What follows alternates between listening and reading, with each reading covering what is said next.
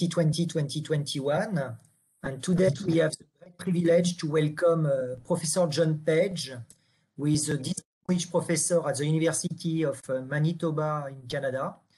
And Professor John Page is, is going to discuss about acoustic bubble metamaterials. Professor. Okay, thank you very much for the introduction and also the wonderful series that you guys have created. I think this is a one of the few really positive outcomes of having COVID these days. So uh, thank you. So as as you said, what I uh, plan to do this morning here and this afternoon where you are uh, is talk about acoustic metamaterials constructed from bubbles uh, in in a fluid or a soft solid. Uh, and this is a collaborative project. It's been going on for some years uh, with many researchers in France, particularly uh, at the Institut Langevin in Paris, and also the Laboratoire MSC at the Université de Paris. Um, so uh, the main focus of what I'm going to talk about then is going to be in, in two parts. I'm going to start off with uh, two-dimensional bubble metamaterials, bubble screens or uh, meta layers, and focus on their properties for achieving nearly perfect broadband absorption for waterborne acoustic waves. And then in the second part, I'll turn to crystalline metamaterials made of bubbles and examine negative refraction focusing and imaging um, effects. So if we start off with looking at the reviewing quickly the history of superabsorbing uh, metastructures, most of the work uh, for very good practical reasons is focused on airborne sound. And there have been many clever designs, including uh, Ping Sheng's button uh, membrane structures, um, the Fabry-Perot channels, which have spectacularly broadband performance, um, subwavelength multi-resonant scatterers, spiral metamaterials, and porous laminar materials, and lots of other examples. But rather less attention has been paid to uh, metasurfaces for absorbing waterborne acoustic waves, even though that's probably the oldest example of uh, metamaterial in this context. Uh, dates from Alberich anechoic tiles, um, which were introduced initially during World War II to try to hide uh, submarines. Um, and there, there's also been some quite recent work um, with effective medium theory uh, examining um, a, a, layered uh, acoustic metasurface. But what I'm going to talk about is what we call bubble metascreens, which is a two-dimensional layer uh, of, of bubbles in a soft matrix. So why do we like bubble metamaterials? Well, we usually need to invoke low frequency resonances uh, so we can define, define effective properties. And bubbles are very, uh, very nice because they have strong monopolar resonances. Um, and here's an example of a nice simulation from uh, Benjamin Dollet. The uh, one of the advantages for studying waterborne acoustic waves is that bubbles are strongly coupled to them. So that uh, facilitates interesting uh, progress and, and, effects. So I'm going to start by looking at to what extent we can look at, we can achieve so-called superabsorption with these bubble metascreens. And then in the second part, I'll move on to uh, 3D metamaterial structures composed of bubbles.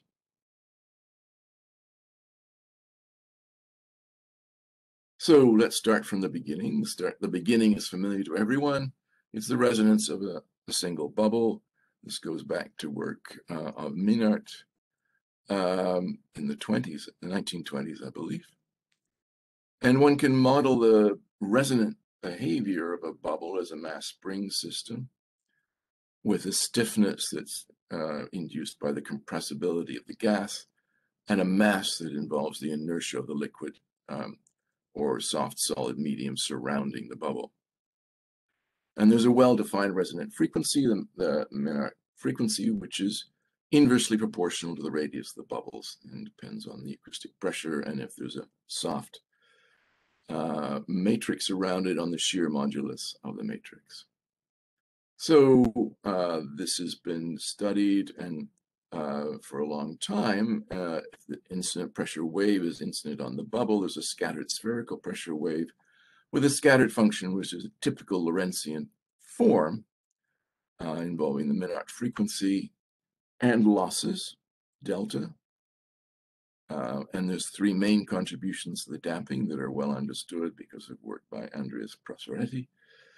Uh, there are radiative losses, of course, and there's also thermal and viscous losses. so what happens if we take these bubbles and put them in a single layer and illuminate them with a plane wave? Uh, this gives us a 2D bubble metascreen. Um, and because of the layered structure, they're all equally spaced, or they don't have to be equally spaced, but close to. Uh, they, the, all the bubbles oscillate in phase because there's many bubbles within a single trend, you know, wavelength. Um, this results in uh, resonant frequency being shifted, an increase in the uh, radiative damping. And we've uh, Valentin Leroy first worked out um, an analytic model to describe this kind of system. Um, and if one summarizes the results, the reflection, the amplitude reflection from the screen uh, now uh, depends on a resonant frequency, omega, which is shifted. Um, given approximately by this uh, result, which depends on the radius of the bubble and the separation between them. And the uh, radiative damping term is also enhanced. It would be the wave vector times A for, you know, uh, simple uh, non-correlated, if you like, uh, layer of bubbles. But now it's increased because all the bubbles are, a whole lot of bubbles are oscillating in phase and it's increased by amount, which depends on the number of bubbles within a square wavelength um, that are, whose motions are uh, illuminated um, coherently. Um, so we have super radiative damping, it's enhanced. And then we have the traditional dissipative damping terms. So this leads then to a transmission and reflection coefficient, and from which one can calculate uh, the uh, absorption, the absorbance, uh, by subtracting T and R from one, and we get this simple analytic form from this model. So what does that mean? What's the best you can do with a single bubble layer in terms of absorption? So the maximum of A will occur when omega equals zero, when you're on the resonance of this collective excitation of bubbles.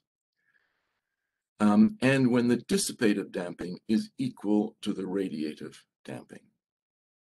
And this will occur if the matrix around the bubbles has an optimal viscosity, which is related to the dimensions of the system, the size of the bubble and the separation between them. Um, Z here is the acoustic impedance. So the this maximum corresponds to the critical coupling condition and gives a maximum absorbance of 0.5. For something like PDMS, which we used in our experiments, uh, we know the viscosity and the frequency range of study, and then we can uh, determine from this uh, simple expression here uh, an optimum set of parameters for A and for D. Uh, one can then tune uh, the absorbance by varying D, and we studied that through the model and through uh, COMSOL simulations, finite element simulations, and the model is, is agrees quite well with the simulations. Um, and that is encouraging. So one can note, of course, that if you have D that's too small, you get almost perfect reflection, and D that's too big, separation that's too big. Between the bubbles, you get nearly perfect transmission, so there's a nice window in between. This type of system can be fabricated for experiments using soft, soft lithographic techniques, uh, which you create a mold, pour in PDMS, uh, pull the cured PDMS off the mold, turn it upside down, and put a layer over the top. Um, so if we want to, though, do better than 50%, what can, what can we do? There's two solutions. We need to break the symmetry. And the one way of doing that is to place the bubble meta screen on a good reflector. And that's probably, from a practical point of view, the most interesting. So if you um, attach this meta layer on a steel background, steel uh, backing layer, if you like. That would normally give you very high reflection. Uh, what can we do to reduce the reflection and increase the absorption? Well, in the ideal case of a perfect reflector, there's a simple condition for zero reflection, uh, which you can get from this expression. Sum of those two things gives you this. Um, and uh, one finds that the critical coupling condition is now slightly modified. You need a different viscosity, which is twice the original one. Um, someone can change A and D. And we did that. And uh, the experiments and the analytic model showed pretty good agreement and pretty high absorption over uh, a fairly broad frequency range. So we were very encouraged by that. You'll notice that there are some uh, wiggles in the absorption versus frequency curve. And that is due to the fact that the impedance of PDMS on itself is not impedance matched to water.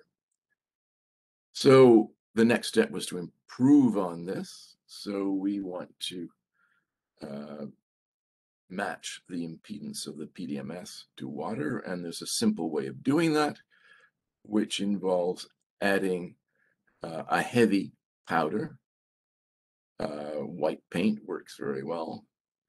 Uh, and one can figure out the right proportion to add by simply uh, using effective medium theories such as the coherent potential approximation or Waterman-Truell theory. So when one does that, uh, one can get indeed very good impedance matching that matches the impedance of water. The effect of adding the white paint um, is, powder is to uh, increase the shear moduli, both the real and imaginary parts. The viscosity increases. That turns out to be a good thing. And the longitudinal attenuation also increases. So uh, we can do simple model predictions for an optimized configuration of radius and, and separation and get uh, very broadband response, very high absorption over a uh, wide frequency range. That's the red curve here. So notice the wiggles with frequency have gone away. So this uh, impedance matching actually works. And the larger matrix viscosity also helps to increase the absorption bandwidth. There's another solution, and that is to create a so-called uh, coherent perfect absorber, initially conceived of uh, in optics as an anti-laser.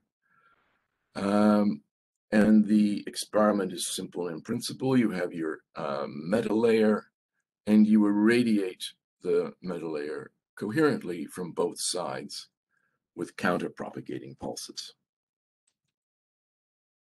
Um, so what do we find with our model and finite element simulations when we look at this system uh, with a viscosity in the right range and adjust the A and the D parameters appropriately?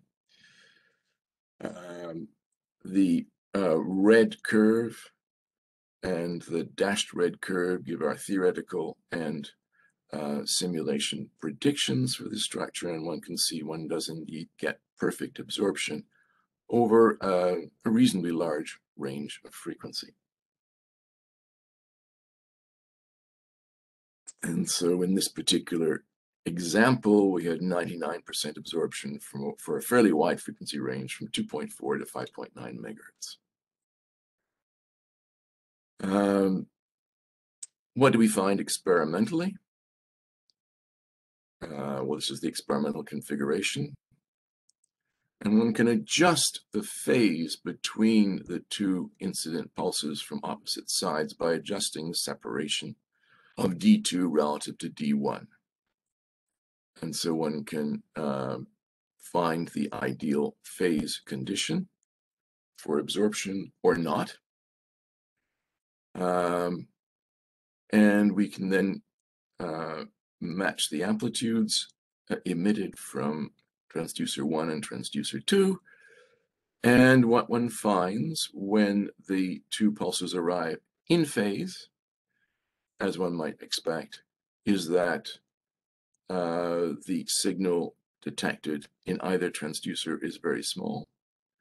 Whereas uh, when they're out of phase, you get a peak result, peak uh, pressure detected. So the optimization is almost perfect, but not really perfect. Um, but still a large amount of the acoustic energy is absorbed in the metascreen. Uh, we repeated the experiments with a, a, narrow band pulse, and the cancellation is not quite as good, but it's not bad at all. Um, and that gives us a way experimentally of, of investigating the absorption over a wide frequency range. So uh, we were able to uh, repeat the narrow band uh, experiments, uh, or repeat the analysis of the narrow band experiments, um, and extract the uh, coherent potent, uh, perfect absorber absorption and compare with our theory and simulations. And the agreement is not bad. And despite the imperfect uh, optimization in this particular experimental case, uh, the absorption is certainly large and broadband. So what should one do if one wants to further optimize the bandwidth? Um, well, uh, the key features to look at, first of all, is starting point really is that the bubble layer resonance has a low Q. And the second point um, is that the critical coupling condition itself is intrinsically broadband because the optimum viscosity does not depend explicitly on the frequency. If we want to optimize the um, broadband characteristics and the absorption for the uh, superabsorber configuration with a bubble metamaterial stuck to a, a good reflector, we need a very good rigid reflector. Steel is good, one can do a little bit better if one has a tungsten substrate. So we do looked at the results from our model predictions uh, in that particular case to see what the ultimate uh, possibilities were. now, to get broadband performance, you also want this combination of Ka and the dissipative damping to be large. So large superradiative uh, damping requires a small d. We need a concentrated uh, bubble meta layer. And we also need then correspondingly a large dissipation. So there's a large optimal viscosity.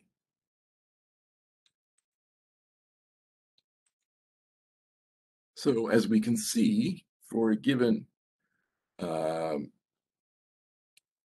bubble size um, and matrix properties, if we can change the matrix by increasing the viscosity, the uh, broadband character um, is much uh, enhanced.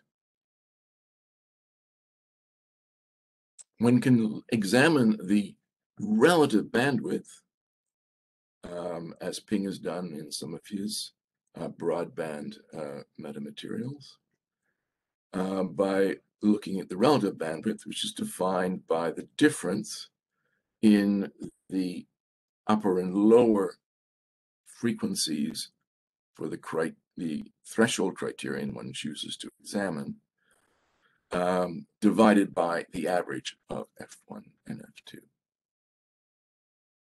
So, uh, as is sometimes done, if one, um, well, just again, first of all, to illustrate that uh, uh, we want um, a large dissipative um, damping and proper optimization, and we get good results um, for a wide range of bubble sizes if one does the optimization properly. So what about this relative bandwidth? How does it depend on matrix viscosity? If we have a threshold of 0.9, uh, really large relative bandwidths are quite readily achievable. If one has larger bubbles and a lower frequency response of the system, one does need, though, um, a larger viscosity.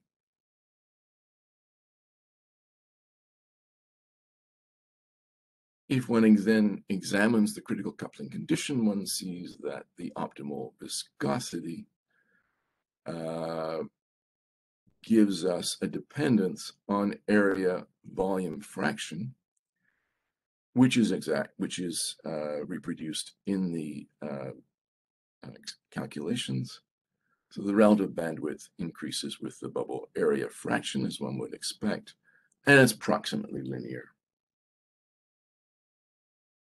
If one sets a lower, a higher threshold of 99% of the uh, energy being absorbed, uh, of course, the relative bandwidth is less, but it's still impressively large.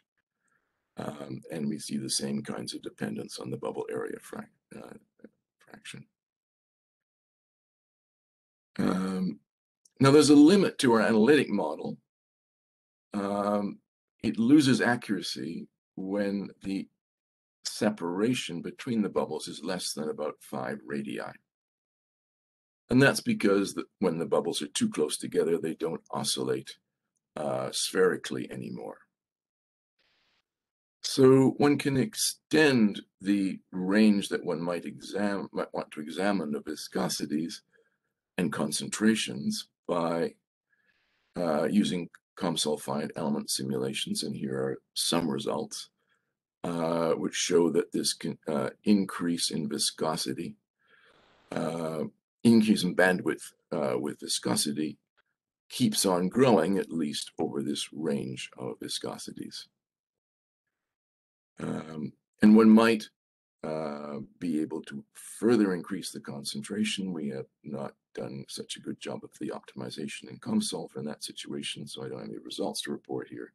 But one might approach the absolute maximum relative bandwidth, which is 200%. Um, as one can see by examining the expression um, for the relative bandwidth. So the point is, if one really puts one's mind to it, one can uh, find very large relative bandwidths with this kind of ultra-thin bubble metascreen. Um,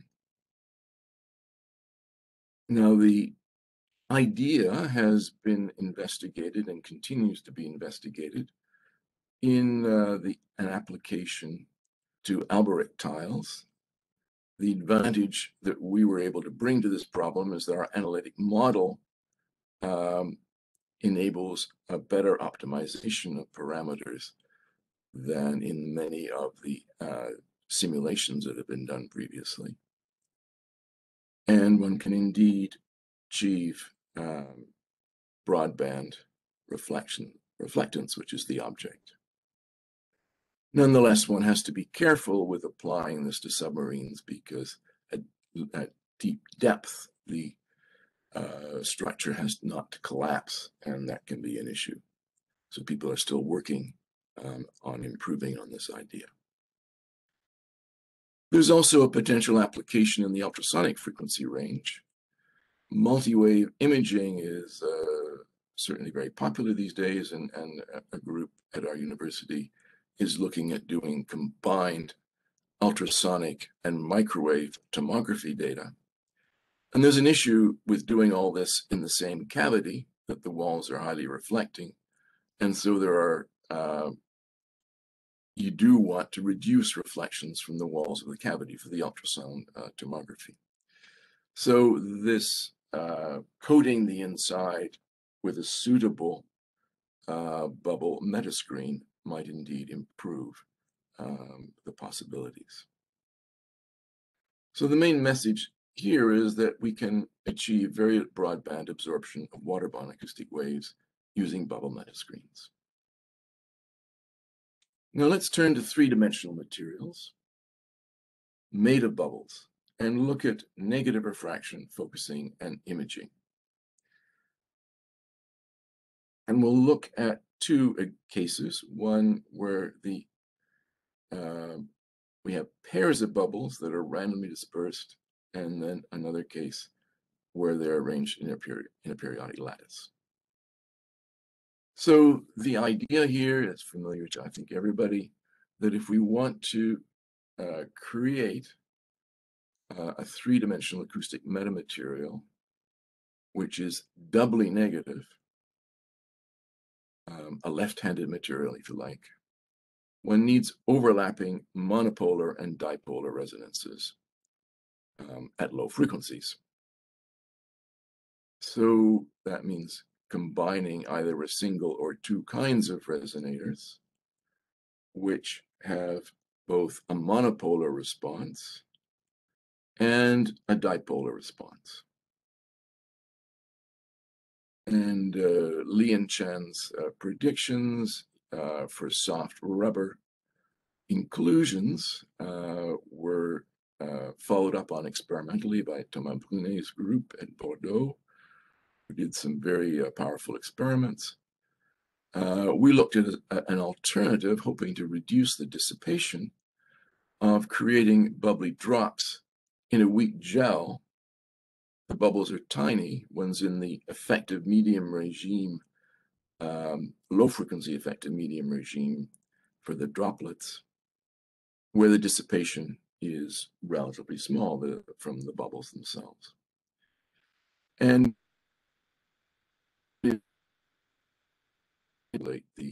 compressibility and, and uh, uh, dynamic mass density.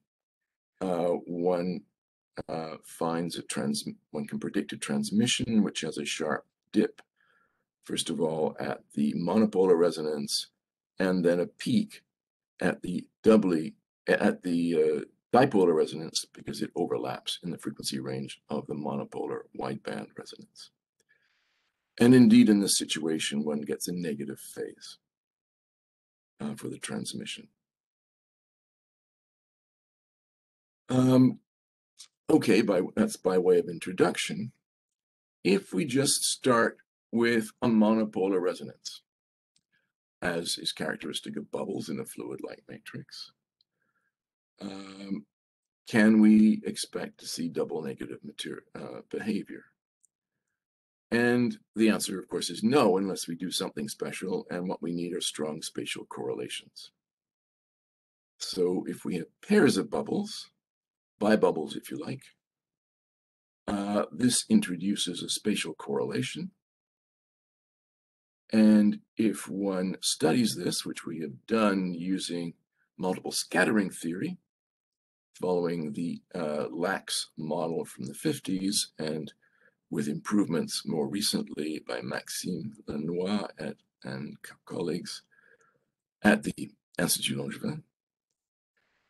Uh, this lets us look at larger systems of bubbles. Uh, what one finds if the uh, bubbles are simply randomly arranged, not surprisingly, there's a large band gap. But if we pair the bubbles with a fixed separation between them, there's a transparency window that opens up in the original bandwidth of the randomly dispersed uh, bubbles. So one can model this analytically by calculating the effective scattering function with a pair of bubbles.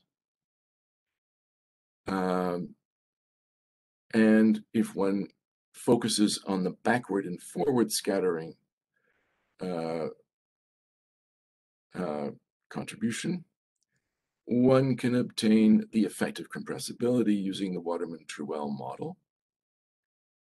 And one can see from the model that there's a monopolar response of the pairs at a frequency omega 1 and a somewhat higher frequency, uh, there's a dipolar response. Look at both uh, simulations and model predictions for this uh, system. One sees that there is a range of frequencies where there is a negative index for the pair bubbled, the, the pair correlated bubbles. But uh, for the randomly dispersed bubbles, there is simply a large gap. Um, and one can see indeed uh, in this region where the index is negative, there's a peak in the transmission because the imaginary part of K um, is, uh, it oscillates, but there's a, a minimum.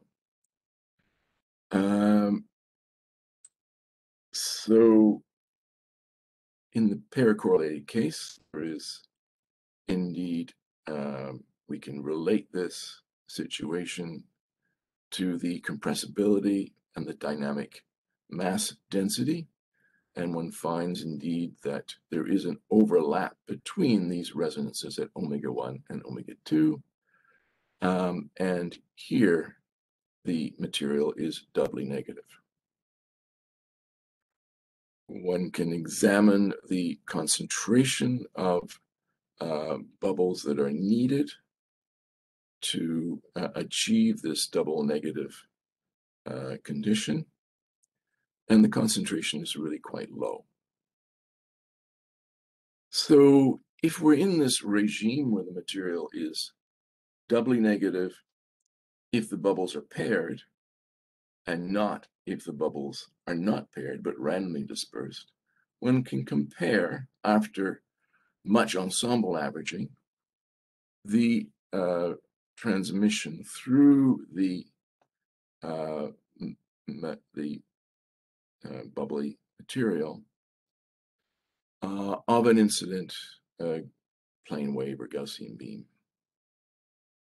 Um, and in the random case, when there's normal refraction, um, and that's also true in the pair correlated case at the frequency omega 1. But in the near omega 2, there's almost no transmission for the random case. But for the pair correlated case, first of all, we see that the beam is refracted negatively, and then um, it emerges on the far side. So, um,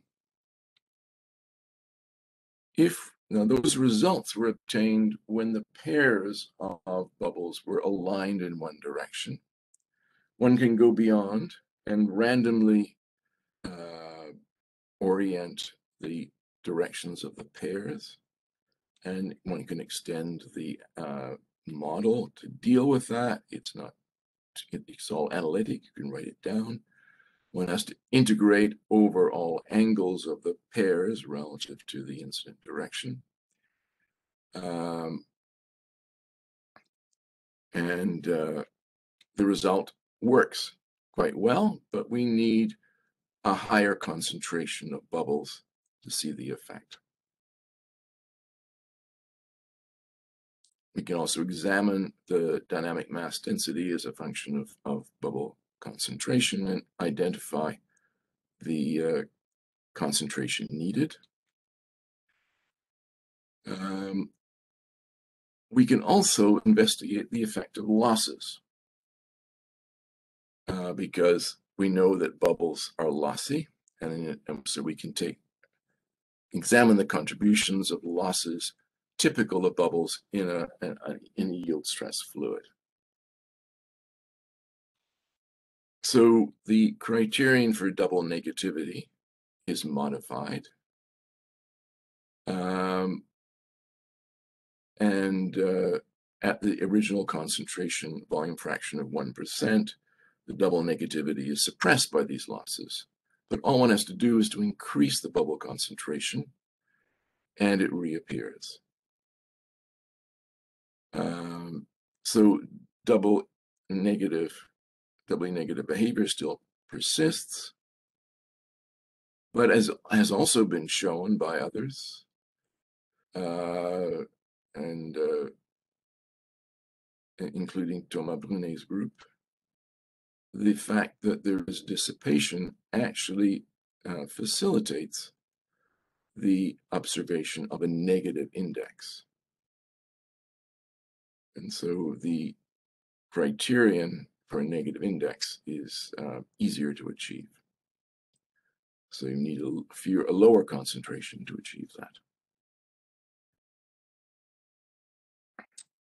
Okay, so that's what one can do with just pairs of bubbles um, that don't even need to be uh, aligned pairs uh, in, a, in, in a fluid or soft matrix.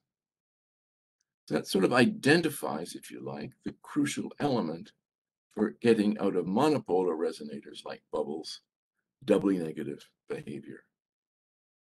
So the next question is, what happens if we look at the case of crystalline metamaterials uh, with bubbles?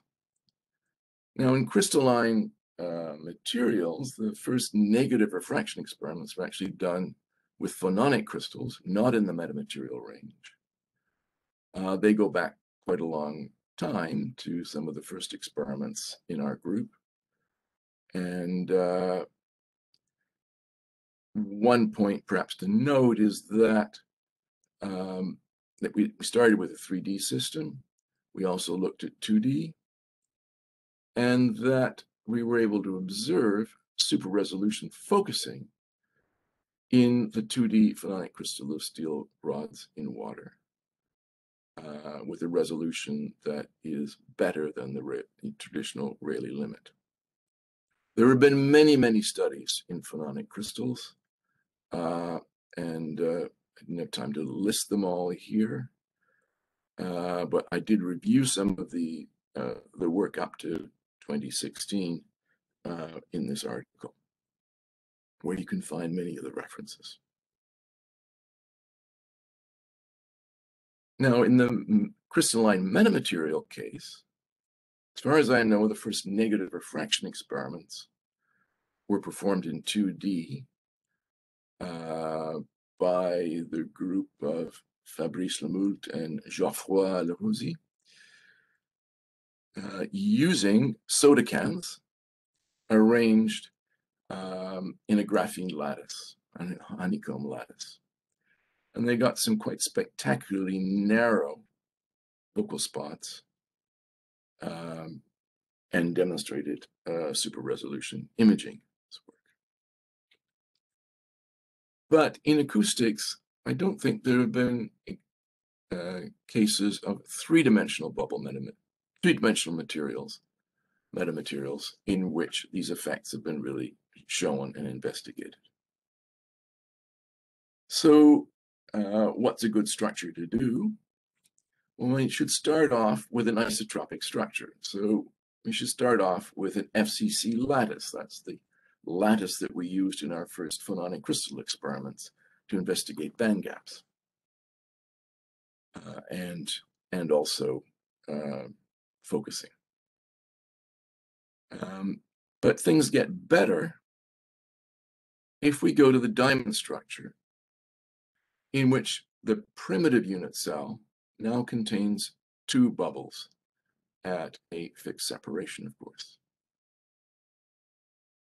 So one might anticipate from one's solid state physics that this type of diatomic lattice might be very interesting because there will be optic as well as acoustic phonon bands at low frequencies. So here's the band structure, comparing the band structure for the case of the FCC um, crystal structure of bubbles with the diamond structure. Parameters used um, are, are here. The, these results, again, come from our multiple scattering model um, as developed by Maxime uh, Lanoy uh, in collaboration with the group at uh, the Institut Langevin. Um, and the notable feature is that if one looks near the top of the first propagation band, which is zoomed in at the box on the top, for the FCC structure, there is simply a band gap, whereas there is a negative band in the case of the diamond structure. And as this negative band, uh, which is of potential interest for looking at negative refraction effects. Uh, I guess I should highlight that, that also this is resonance based the resonance of a single bubble is just below the top of the band gap for the FCC structure. Um, so it's a resonant-based effect. The band gap occurs because of hybridization and resonance effects. Um, and this uh, negative band is really a metamaterial effect and not just a Bragg scattering effect, uh, as in the phononic crystal case. Now, one of the key advantages of the diamond structure is that this negative band is actually very isotropic. We superpose the dispersion relation for different directions, uh, different principal directions in, in, in, in the crystal structure. They match extremely well over most of the Brillouin zone, so most of the range of frequencies for which this band exists. So one would indeed expect that one can reach the uh, condition where the relative, the refractive index is negative and equal to minus one. Um, and so would what would one to well, see if one has a Gaussian beam incident on a slab, a flat slab uh, uh, metamaterial uh, containing these bubbles. So as one would expect, uh, an incident beam, a lot of it may be reflected, some of it is refra refracted, but negatively across the crystal and emerges with a displaced beam on the far side the uh, propagation inside can be perhaps better seen if we look at the pressure rather than the relative energy. So indeed, uh, negative refraction occurs. Uh, what about focusing by negative refraction? Well, at n equals minus 1, indeed one observes a nice image on the opposite side of the lens provided the source is close to the, the lens surface so that evanescent waves from the source can be captured effectively. Um, but the if one looks at the uh, profile, transverse profile of the image here, uh, as a function of distance divided by the uh, wavelength in the water outside, one can see that uh, this image is not super resolved. It's close, but it's not. The dashed gray curve is the prediction um, that you would get out of a sinc function and obeying the Rayleigh criterion. Um, so we're close, but it's not uh, super uh, resolved. We can play with the frequency though, if one decreases the frequency slightly, so that the uh, index becomes more negative, one can indeed see a very nice image still. It's moved closer to the lens surface, but it's still distinct from the lens surface.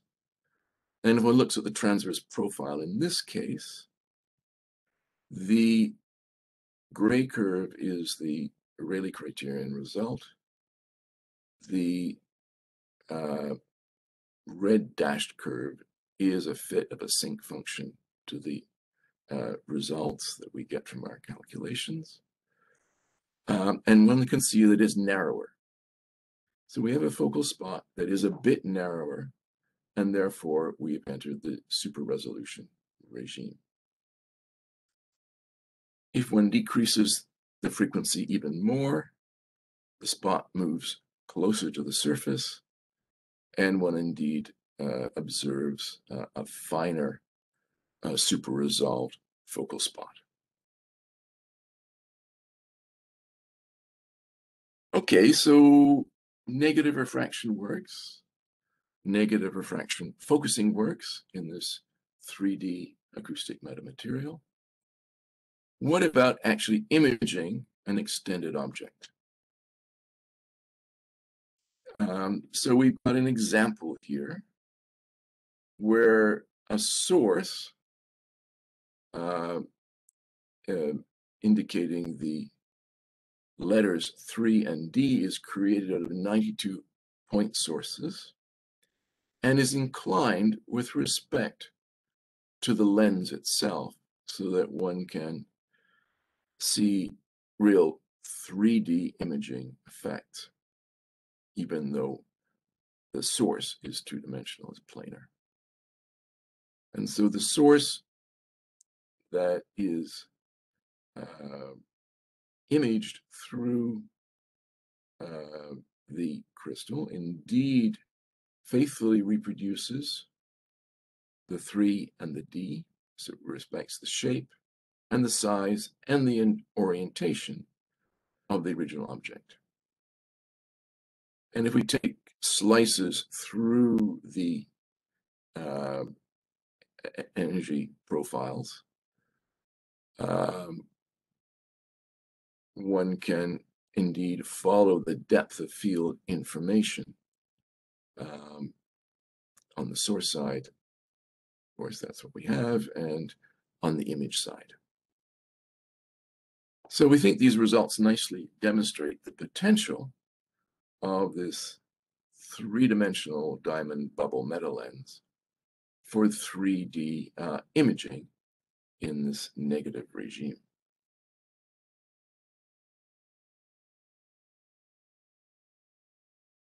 Now, our simulations that we've done so far uh, for the 3D bubble metamaterial do not account for damping. So they are uh, illustrate the potential, but not the full story. But we know what's going to be possible from our bubble pairs results, the bibubbles. We expect that all one needs to do is to increase the concentration. Remember that the volume fraction is extremely low in these simulations in order to, uh, for, for computational reasons that limit the number of scatterers that we can account for. So we haven't been able to examine that re this regime with dissipation yet because uh, of the limited computational resources uh, available to us. It's still pretty good. Um, what about practical experiments that can look at these predictions? If one tries to create a 3D ordered bubble array by trapping bubbles in a yield stress fluid, this turns out to be extremely challenging in positioning. When you add bubbles, you disturb the positions of the ones that are there already, uh, and disorder is introduced. However, there is a very promising solution to this problem that has been proposed by Philippe Marmottant's group, and that is to use uh, 3D printed frames to stabilize and control the bubbles, which in this case are cubic. So the a 3D frame is created. The dimensions in this case were of order a millimeter. Um, and simply by treating the surfaces, when this is slowly immersed in water, there's an interface between the water and the air trapped inside. And this interface takes on a curved uh, surface that is quite similar to an ordinary bubble that's not stabilized by this frame. So this appears to be a very realistic uh, experimental approach for investigating predictions such as the ones that we have made.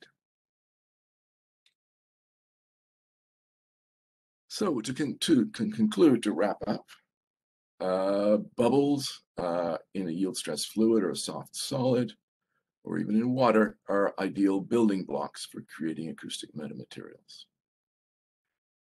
Um, I looked at the options for looking at superabsorbing bu bubble metascreens. And the study of this problem is facilitated by a simple analytic model that's very useful for design and optimization. We validated the model uh, by experiments and simulations for both types of configurations, the superabsorbing one where the metascreen is placed on a highly reflecting surface, um, transforming a high reflectivity material into a very low one, and the coherent uh, perfect absorber configuration. Someone can achieve perfect absorption in the case of the coherent perfect absorber, uh, as its name suggests. Um, but for the uh, SAB configuration, the absorption can't be quite perfect because there's always some small leakage into the hard, rigid reflector on the backing. Uh, and for waterborne acoustics, that reflector cannot be, that reflection coefficient cannot be exactly one. Nonetheless, very significant broadband uh, absorption can be achieved. In the second part, I talked about doubly negative bubble metamaterials, um, creating doubly negative materials through pairwise spatial correlations of these low frequency monopolar resonances of the bubbles. So the so perhaps initially surprising result is that we can create these doubly negative bubble metamaterials starting from a system which has only monopolar isolated resonances. We get double negative behavior in both random and ordered configurations of the bubble pairs, and super resolution focusing is possible. And that, I think, is all I have to say. So I'm happy to discuss any questions that we may have. Thank you so much, Professor Page. So we welcome uh, questions from the audience. Uh, this can be, you know, general questions or very focused. So please come forward with your questions, people.